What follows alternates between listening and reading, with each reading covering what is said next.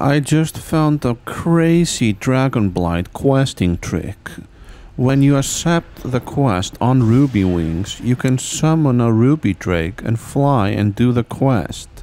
But if you don't do the quest immediately, then you can use this Drake to go quickly between areas around the Dragon Waste. Like here, I have to kill the mighty Magnataur.